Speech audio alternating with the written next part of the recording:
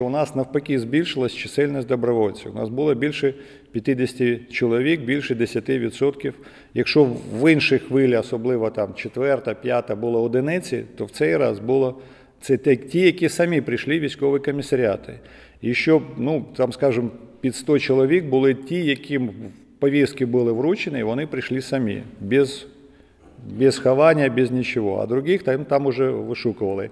Вот эти вот 50 сюди входять е, офіцери, які були на ну, були в запасі або в відставці в тому числі.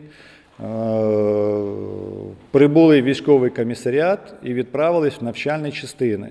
Е, ну, у нас Напевно, біля 10, може бути трошки більше, може бути, я помиляюсь, але біля 10 полковників, які вже були на пенсії, вже, напевно, не один, мабуть, десяток років, прибули військові комісаріати, відправили були в навчальні центри е, на курси перепідготовки до підготовки перепідготовки офіцерів, і після цього ну, визначені частини їх направили.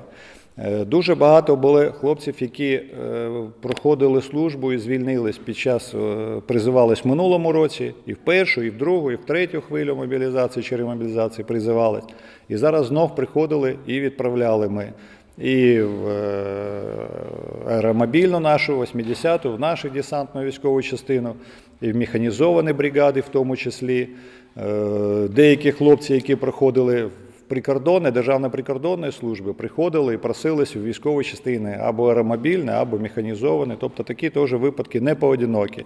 От на останній тиждень було декілька таких, що вчора звільнилися, сьогодні прийшли військовий комісаріат, там відмітились на роботі, побули, і знов прийшли військовий комісаріат, буквально через день, через два, знов призвалися і пішли або в ту, або в іншу військову частину, яку вони е, обрали. Тобто демобілізовані. Тобто демобілізованих, які звільнені. Нічого. Я кажу, за останній тиждень таких було біля, біля 10 чоловік. За останній тільки тиждень. В останні дні, от, е, крайні дні проведення мобілізації, таких було декілька чоловік, не один навіть. Ну, по-перше, ну, ви знаєте, що дуже багато хлопців, які зараз звільнені по мобілізації, е, не можуть знайти роботу. Вони знаходяться, звертаються в центрі зайнятості, не мають роботи. А там вони знають вже свою роботу, свою службу. Уже рік вони пробули, є певний досвід.